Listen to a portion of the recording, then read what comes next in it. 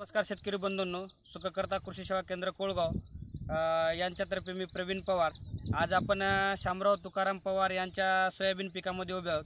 आता या सोयाबीन क्षेत्रावर जे काम चालू आहे सध्या परिस्थितीमध्ये ते सोयाबीनची विरळणी चालू आहे. विरळणी करण्याचं मुख्य कारण शेतकरी मित्रांनो सांगायचं जर झालं तर प्रत्येक शेतकऱ्यांनी सोयाबीनच्या उगवण क्षमतेवर शंका असल्या कारणाने भरपूर प्रमाणात बीज दर वापरलेला असतो. आणि जे चांगल्या क्वालिटी बीज असतात ते तसंच सगळ्याला सगळं निघून जाते.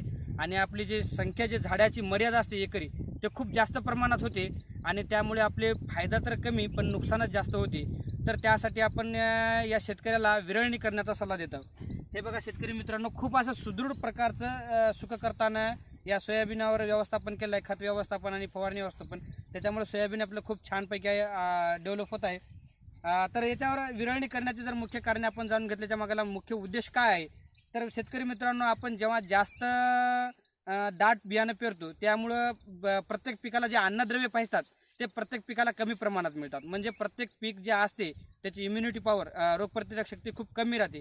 कारण प्रत्येकाला जे अन्नद्रव्य पाहिजतात ते तेवढ्या कमी क्षेत्रामध्ये मिळत नाहीत.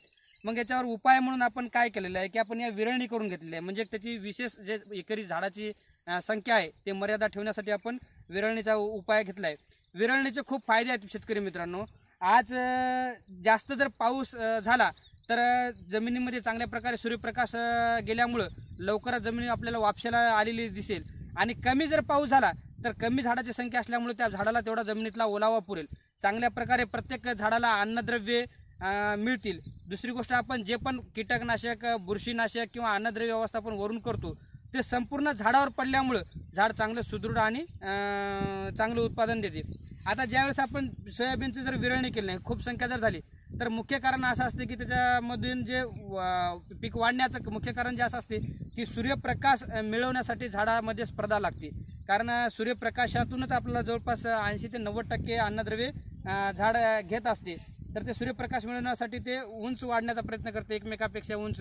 या उंच वाढणीमध्ये काही वाढ पिकाची जास्त होते त्याला सूर्यप्रकाश मिळत नाही. आपण कुठलेही कीटकनाशक बुरशीनाशक फवारलेलं ते आपल्या खालच्या भागाला जो असते जमिनीकला जो भाग असतो त्यावर पडत नाही. आणि त्याच्यामुळं आपले मग फुलगळ होणे किंवा जरी शेंगा लागल्या तर त्याचं ते पिवळ्या पडून गळून जाणे. त्याच्या मागलं कारण आणखी जर सांगायचं झालं तर खाली कुठल्या प्रकारचा सूर्यप्रकाश आणि हवा जात नसल्यामुळे हानिकारक बुरशी वाढतात. म्हणजे ज- जमिनीमध्ये आर्द्रता जास्त वाढते आणि त्याच्यामधून त्याचं जास्त प्रमाणात नुकसान होते. हे कुठल्याही गोष्टी पुढे होऊ नये. याच्यासाठी आपण मग बरेच शेतकरी काय करतात की वाढ नियंत्रक वापरतात. पण शेतकरी मित्रांनो ज्याचं सोयाबीन तुमचं दाढ झालं त्यातलं कुठल्याही वाढ नियंत्रकाने तुम्हाला उत्कृष्ट असे परिणाम मिळत नाहीत. कारण त्याच्या एक मर्यादा आहेत वा अशा आणि ते औषधाचा थोडासा पाऊर उतरला की त्याची त्यांना ग्रोथ आणि करणार सूर्यप्रकाश मिळवण्यासाठी स्पर्धा करणार. त्याच्यासाठी सोपा आणि चांगला उत्कृष्ट उपाय. आपण हे सोयाबीनाची जर विरळणी केली तर प्रत्येक झाडाला अन्नद्रव्य चांगली मिळून प्रत्येक झाड सुदृढ होऊन आणि त्याला भरपूर शेंगा भरपूर फुलं हवा ऑक्सिजन त्याला चांगले मिळते सूर्यप्रकाश चांगला मिळतो जमिनीमध्ये पाणी कमी जर झाला तर वापसा म्हणजे प्रत्येक पिकाला ओलावा पुरतो आणि जास्त झाला झाला तर जमीन सूर्यप्रकाशामुळे लवकर वापसावर येते हे सगळ्या गोष्टी जर चांगल्या उत्कृष्ट होऊन चांगलं उत्कृष्ट उत्पादन मिळेल यामध्ये कुठली शंका बाळगण्याचे काही कारण नाही.